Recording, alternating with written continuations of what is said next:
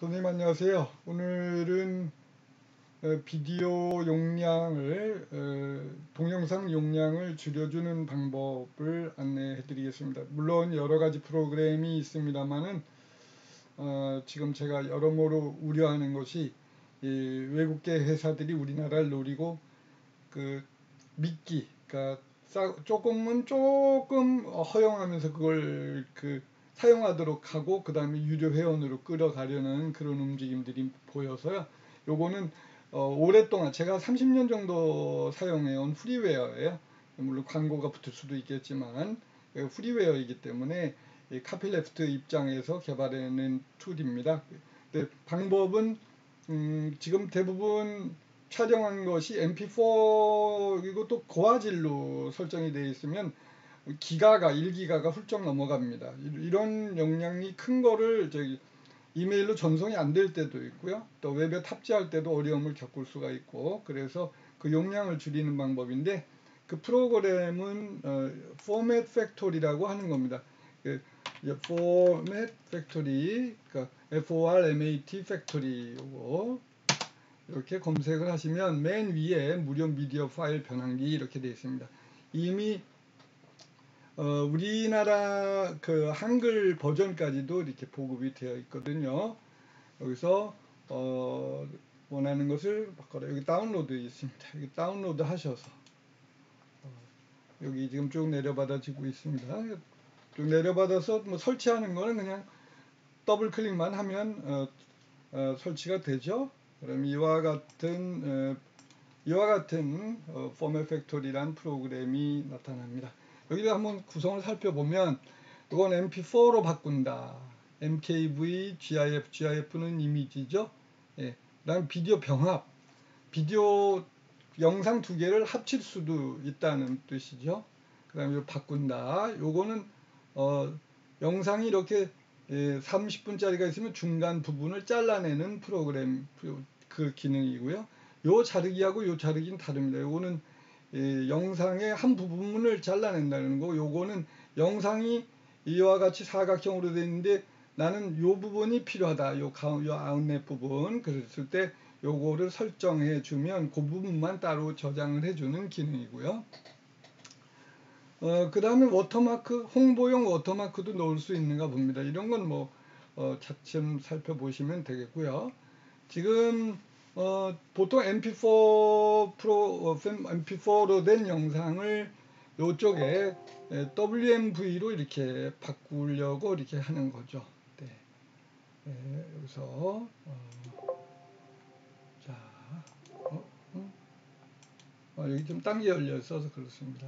여기서 다시 가겠습니다. 여기서 누릅니다. 더블 클릭하면 파일을 추가하세요. 대부분 양식이 이렇습니다.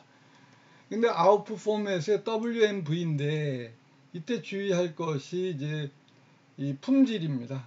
어, 품질을 어떻게 할 것이냐 여기 보시면 어, 고품질, 중품질, 저품질 이런, 이런데 에, 고품질을 하면은 의미가 없죠. 오히려 더 화질이 커질 수도 있습니다. 근데 저품질을 하면 화질이 떨어지는 그런 어, 또 약점이 있고 해서 중품질 정도로 어, 확인을 해 보도록 하겠습니다. 그 다음에 이제 파일을 추가해야 되겠죠. 불러옵니다. 파일 추가라는 건 내 하드에 있는 에, 그것을 불러, 불러온다는 뜻이고 제가 한번 살펴볼까요? 용량이 이, 자세히 살펴 여기 지금 이게 738메가 됩니다. 단양 장학사님께서 보내주신 여기서 그 파일 추가를 해서 어, 확인을 누르고 그 다음에 시작하면 되겠습니다. 누르면 여기 어, WMV가 이렇게 되는데 여기서 출력하는 폴더, 이 저장하는 폴더가 어디냐 이런 얘기입니다. 어디를 볼까요? 여기 FF Output이라는 폴더가 되어 있네요. FF 아웃 D D로 이렇게 외장 하드에 있는 D 속에 FF 아웃 여기에 저장이 된다는 뜻이겠죠. 지금 중품질 및 크기가 크기로 어, 작업을 하고 있습니다. 이런 식으로 해서 어, 영상의 크기를 에, 용량 크기를 줄이실 수가 있습니다. 이렇게 음, 대부분 이 프로그램이 이와 같은 형식으로 유지됩니다. 요것만 자르기를 하나 또 추가해서 보여드릴게요. 어, 자, 이러, 와 같은 상태입니다.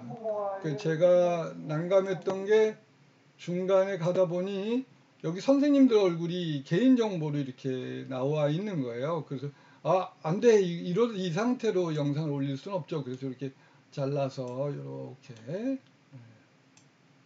잘라서 어, 영상을 어, 올렸습니다. 여기 그리고 확인 누르고 예, 여기 확인 누르고 그럼 여기 자, 동적으로 이 작업이 예, 들어갑니다. 그렇게 해서 제가 이번에 어, 학부모와의 소통 영상을 올렸고요.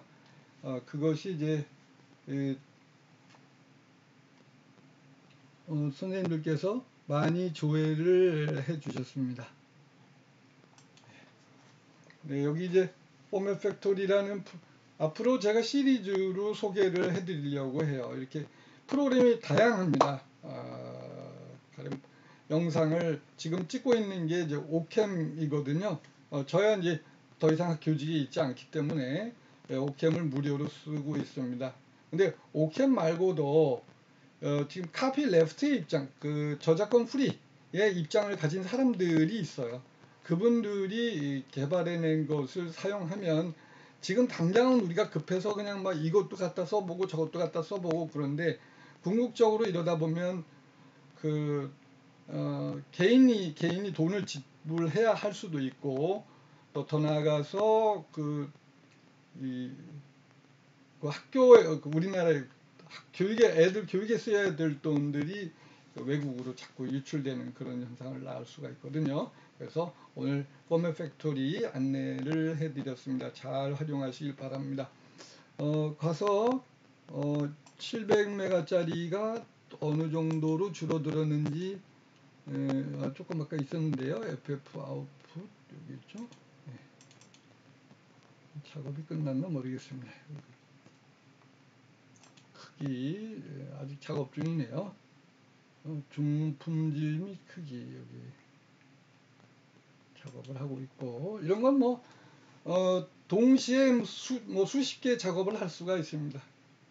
에, 그러니까 여기서 얼마든지 여기 GIF로 바꾸는 것도 어, 출력 설정해서 60 어, 이렇게 용, 용량을 640인데 용량을 이렇게 줄일 수도 있네요. 예, 이미지의 용량을 이런 거는 뭐 한꺼번에 수십 수백 개도 작업이 가능합니다. 정말 어, 괜찮은 프리웨어 Format Factory를 소개해 드렸습니다. 잠시 시간이 들더라도 얘하고 친해지면 선생님께 정말 몇백만 원짜리 비서 역할을 할 수 있을 것 같습니다. 오늘 어, 파일 용량을 줄일 수 있는 Format Factory에 대해서 아, 안내를 해드렸습니다. 지금 이 프로그램은 oCam으로 녹화를 하고 있고요. 배경 설정을 한게 아니고 이 뒤에 지난번에 단양교육지원청 가서 장 학사님께서 기념으로 가져가라고 그러셔서 제가 이게 뒤에다가 뒷배경으로 사용한 겁니다. 저희 집이고요. 앞으로 이런 식으로 해서 어, 알찬 정보들을 이렇게 나누도록 하겠습니다. 고맙습니다.